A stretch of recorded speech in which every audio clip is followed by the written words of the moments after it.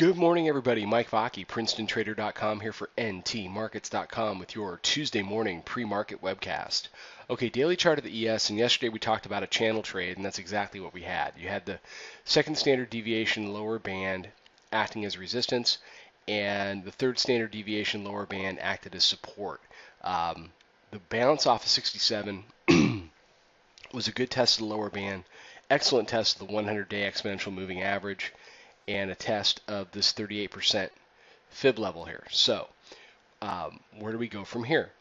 Um, I think the best thing to do, and you can see these bands now. We talked about how these bands are flatlined.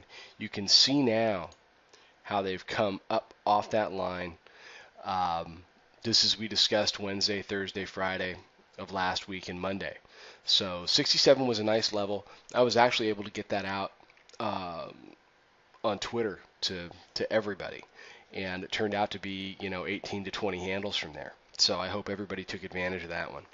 Um, now going back to August, and I'm going to keep analogizing to this because it is played out very well. You had the break from the tight bands. You had the big down day. You had a channel day here, channel day number one, and then channel day number two. Okay, so fast forward to now, me tighten up.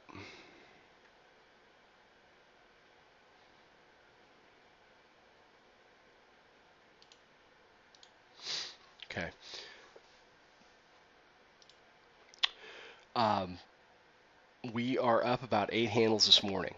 And I mentioned in the chat room, and I've mentioned, I don't know if I mentioned it here on the webcast, is the trademark of a lower Bollinger Band ride is that you have AM highs that die.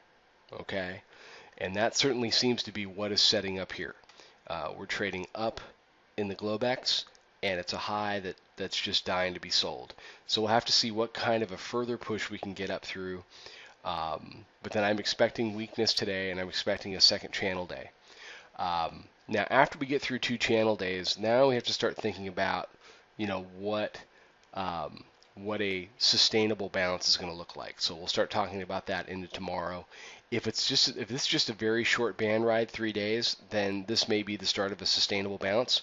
But the odds are we stay down for another day. Um, on the upside, you have to look at yesterday's high up at uh, 1792 as an area that the bulls have to conquer in order to get up towards this double fib area 1797, 77 to 1800. Okay, round number 1800 is going to be a big one, and um, those are 92 and 1800 are two big levels for the bulls to get through. On the downside, obviously, you've you've got 67, and you've got the overnight lows that came in around um, 72. So you had 67, you had a higher low at 70 yesterday. Then we traded as high as the 88s, pulled back um, slightly. Uh, well, not not slightly. We pulled back about 10 handles. We were able to catch uh, in the chat room. We caught a short after that long, so it was a nice day. Um, but the 71, 72 area is going to be key, and then we get back to the 67 lows. If the Bears want to do anything significant, they're going to have to get through 67.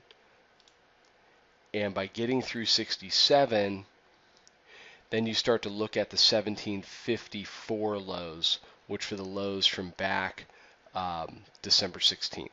Okay, and it's basically the starting point of this leg up to 1846.